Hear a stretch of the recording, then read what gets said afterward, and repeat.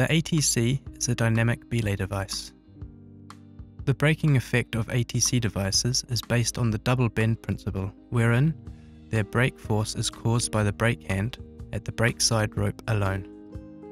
For belaying in sports climbing, semi-automatic belay devices due to their blocking support offer a safety advantage compared to dynamic devices. Many manufacturers provide ATC devices.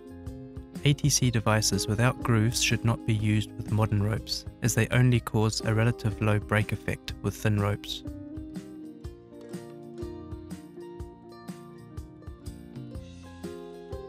The brake side rope passes out of the device to the front via the brake grooves. Right-handers use the right groove, left-handers the left one. Using a locking carabiner, the wire loop of the ATC and the rope are inserted into the belay loop. Then the carabiner is locked.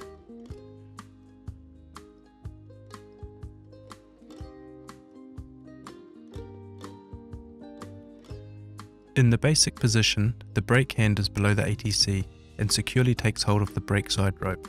The thumb is facing the ATC, the guide hand is at the climber's end of the rope, the double bend principle is given in the home position. Taking up and paying out rope is easy now.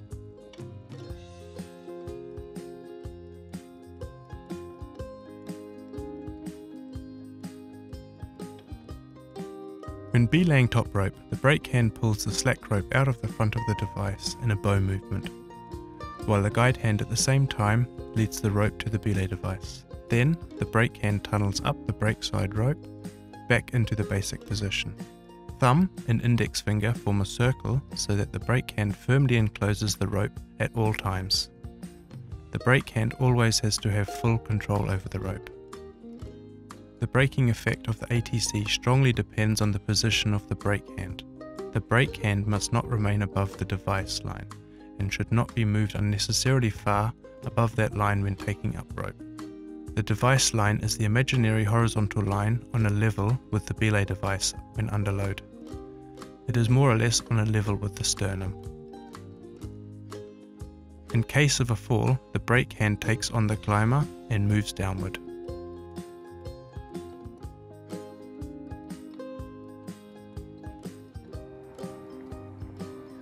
Okay, zu. When taking the climber, the belayer puts the rope under full load with all his body weight. The brake hand moves downward. When lowering the climber, the brake side rope passes through both hands. The guide hand and the brake hand enclose the rope below the device. The belayer lets the rope pass through the device under control. The last meters to the floor, you have to see that the landing area is clear.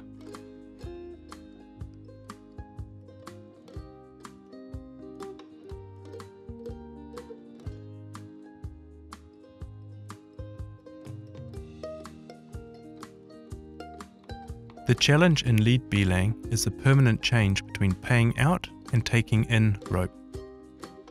For paying out rope, the brake hand pushes the rope towards the ATC from the bottom, while the guide hand pulls out the rope. Excessive slack rope is pulled in and the brake hand tunnels back into its home position.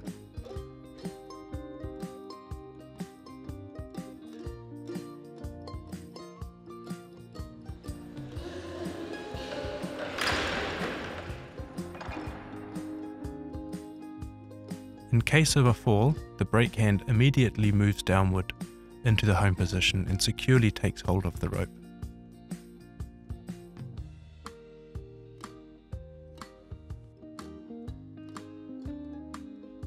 If the brake hand is too close to the device, the skin between your thumb and index finger may be pulled into the ATC by rope passing through the device in case of a fall. There is a great danger you may reflexively let go of the brake side rope and then the rope will pass through the device at full speed.